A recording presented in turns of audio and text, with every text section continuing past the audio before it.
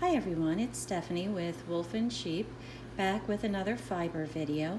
Today I started separating some Leicester long wool locks to wash and I thought, well, I'll just bring you all along on this and show you how I do it. First of all, let me show you this gorgeous, gorgeous fleece. Look at this, look at the crimp in these locks. See this? Isn't this beautiful? This is why I wanted to preserve the individual locks in this fleece. Look at that crimp and the luster, the shine that's going to be on these once they're clean. You can, and this is a remarkably clean fleece.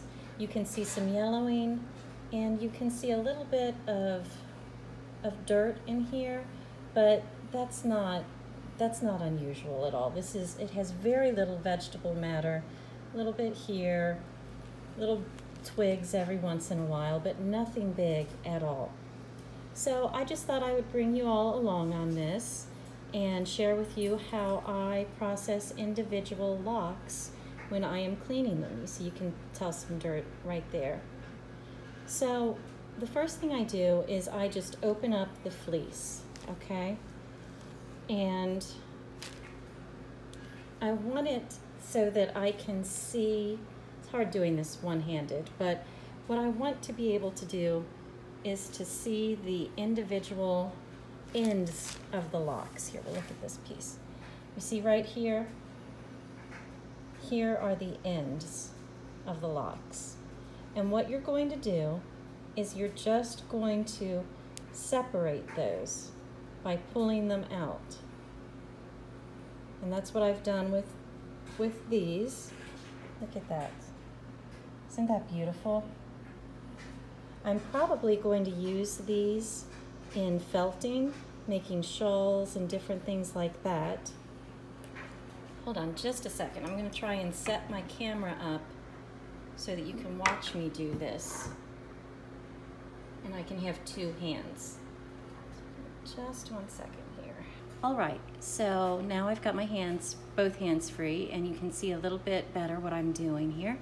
I'm going to separate out some individual locks, and I'm doing this so that I can keep this wonderful crimp and this wonderful texture intact because I'm going to use these probably to make a shawl and to line the shawl. Look at that. Isn't that beautiful? I'm going to use them probably around the edge of a shawl or something like that that I felt with. Felting is wonderful because you can keep a lot of the locks intact and you can use them to add interest and texture to your piece. And I love that because again, it keeps us closer to the natural state of the fiber which I always enjoy doing. So I'm just going around the fleece right now, picking out several locks that I'd like to incorporate into my future designs. And I'm just pulling them out. Look at that one. Look how long that is. Isn't that gorgeous? Now there's a little bit of dirt here. No big deal. And you can see the yellowing here. That's caused by the lanolin all of this yellowing that's in this fleece is because it's a very high lanolin content and it's going to make my hands really soft once I'm finished doing this. So I'm just going to go through here, pull out some locks, and then what you'll want to do is get a lingerie bag. Okay, you want the water to be able to move through but you want the locks to be held relatively still while you're doing this. So what you're going to do, I've got some lingerie bags here. This is what I use. You see, it's it's a bag, it's just a, a plain old lingerie bag that I got at Walmart. I think it was like $3 or something like that. And I'm going to pack the locks in here. I'm going to um, pack it pretty full so that they can't move around much. I don't want to lose this structure. I don't want the locks to turn into this because you see, I've lost the structure from this. This is created just from pulling out different various locks and this particular lock just lost its structure. And this is what I don't want to happen while I'm cleaning this fleece. It's okay that it has happened. It's, you know, it's just part of it. You're not gonna be able to use every single part of this for lock spinning or felting. Look at all of this, isn't that beautiful? All of those locks. Oh, and by the way, I purchased this fleece from Namaste Farms.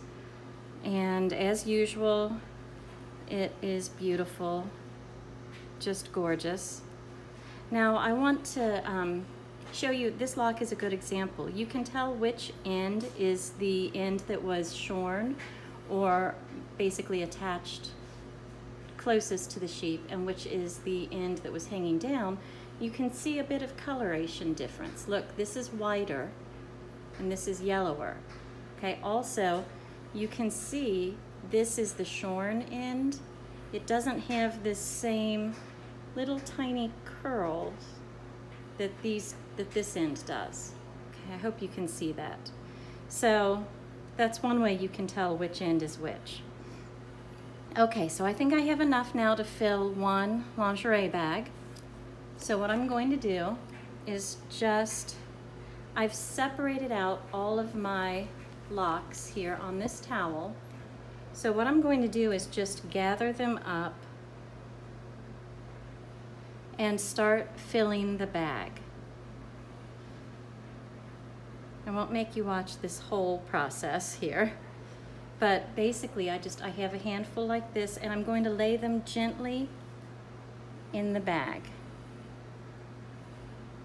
and sort of spreading them out so that they are in a single layer. I don't want a double layer here because I don't want to risk any felting. And I'm just lining them up in the bag.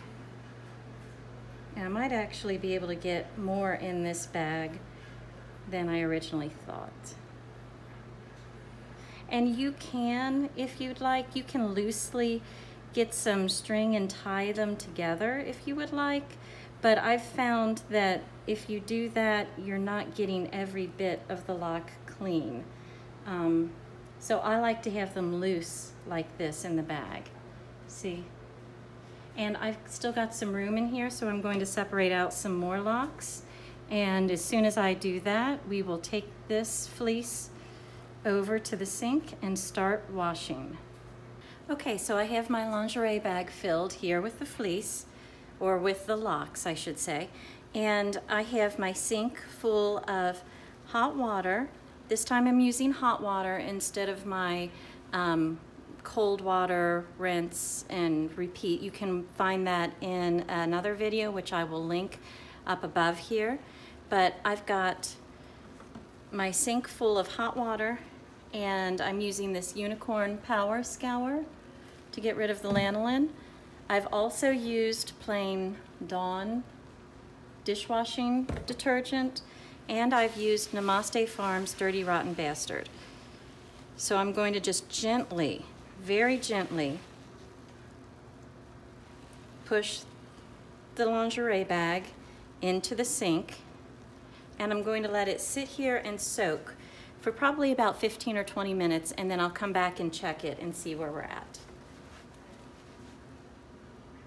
Okay, so it's been about 20 minutes and I have drained the water and put in fresh water. But I just wanted to stop for a minute and show you what already, how much brighter and whiter the locks are. This is how they started, okay? And just a 20 minutes of soaking, no agitation, no squeezing the soap through the fiber or anything. This is the nice bright white that we're getting right now. Much different than the way they started, which is here. So what I've done is I have just let the dirty water drain out and put in clean hot water and I'm going to let this soak for about another 20 minutes and then it will probably be finished. So we will be back and check then. So we're still soaking, but I just wanted to pop in here for a minute and show you the difference. this is the bag that we started with. These are the locks we started with. And these are locks I just put in at the same time I started the second soak on this. So you can see the difference in just little hot water and unicorn scour. This is all of the dirt that we're getting out of here. And in just one rinse or one soak, this is what we've come up with. Look, the water is, there's still a little bit of lanolin in there, but it's nothing like it was. This one, however, it's just dirt all the way through. That's the water there. So I just thought that was interesting to show you a side by side after just 20 minutes of soaking what this one has ended up with. We'll be back in a few minutes. All right, so we've finished washing our locks and now I have them spread out on this towel in my bathtub to air dry. I would normally put any fleece or yarn that I was dyeing and then um, letting dry. I would normally put it through my little spin dry machine, but I don't want to do that with these locks. I'm being extra careful with them because they are so delicate and because I am trying to preserve the lock structure. So that's why I'm leaving them in the bags and I'm just going to let them dry in here and I will come back when they're finished drying and show you what they look like in the end. All right, it is the next day. I've let the locks dry overnight and I've pulled out a few to show you. Look at how nice and clean and white they are. And look at those, those beautiful locks. Look at those crimps, that crimp that's in the lock. It's gorgeous, isn't it? Now, I want to point out something that I would do differently next time. You see how we've got some that are not, that didn't keep the structure as well. I think I packed the bags a little bit too full. And so when I was rinsing everything, the locks kind of clumped together. And so when I separated them, it pulled out a little bit of this fuzzy part. So what I'll do next time is I would not pack the bags as full as I did so that I have more that are like, like these up here without the fuzzy parts that these down here have. So that's what I would do differently next time. And I hope this video was helpful to you. If, you, if it was, please like and subscribe. And until next time, I'm Stephanie with Wolf and Sheep. Thanks for watching.